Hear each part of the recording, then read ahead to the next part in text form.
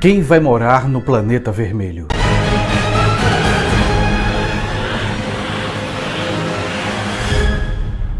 Se há algo que a gente tem ciência, que a gente sabe sobre o ser humano, é o seu espírito explorador. Foi o espírito de exploração que fez o ser humano, o homem, descobrir novos e grandes continentes. Foi o espírito de exploração que fez a ciência se desenvolver. Ciência que agora tem feito o homem a correr atrás de novas explorações.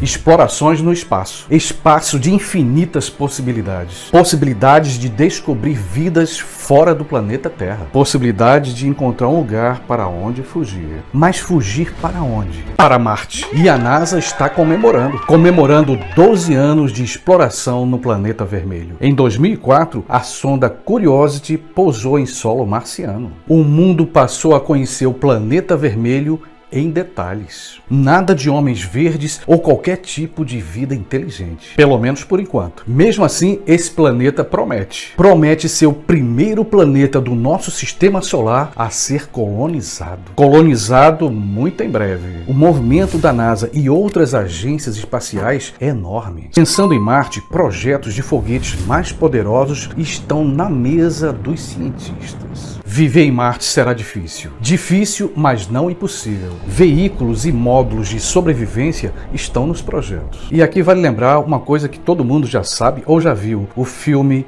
Perdido em Marte. O filme realmente é fantástico, inclusive é do diretor do filme Prometheus, Ridley Scott. Esse filme teve apoio da NASA, apoio em verba e assessoria. Muitas coisas que a gente vê no filme têm como base teorias e cálculos da NASA. No filme Perdido em Marte, nem tudo é ficção. Nesse ponto, vale lembrar um detalhe que eu considero importante. A Lua não está descartada. Chineses, americanos, russos querem colonizar a Lua, criar aldeias em solo lunar. Mas por que Marte? Na minha opinião, mesmo com todas as barreiras e dificuldades, Marte é o nosso vizinho mais próximo. Próximo no espaço e no tempo. E o tempo está acabando. E por falar em exploração, a NASA estaria preparando a primeira missão lá para 2025. É claro que Marte não é nenhum paraíso. Está muito longe de ser idêntico à Terra. Como é Marte, as coisas por lá são meio secas e geladas. Eu já comentei aqui das diversas ameaças que pairam sobre a humanidade. Ameaças reais. E dentre elas, o Apophis. Esse enorme asteroide que tem grande possibilidade. Possibilidade de colidir com a Terra em 2036. O tempo é cada vez mais curto para salvar a raça humana. Mas todos serão salvos? Vamos imaginar. Imaginar que isso é fato. Lá estão os poderosos, as classes dominantes marcianas colonizando Marte. Mas eles vão precisar de uma coisa: dos dominados. E quem serão esses dominados? No meu ponto de vista, os pobres subjugados que vão trabalhar